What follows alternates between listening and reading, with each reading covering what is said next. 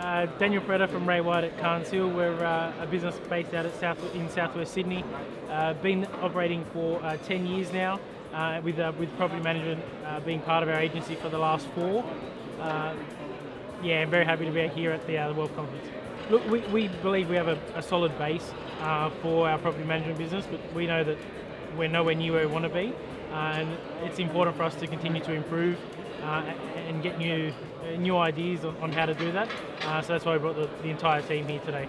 We come every year. We come every year, and, and most years we get something out of it, and, and try and pick one thing to improve on, uh, and then run with that for the 12 months, and then and come back again. There's only one team member that had been before, so there's three that, that haven't attended uh, a conference before. Uh, and so far, they're just taking a lot of notes, trying to absorb it all in, and then we'll uh, we'll sort of go back on uh, Tuesday, Wednesday, and and break it down and, and sort of set some goals from there.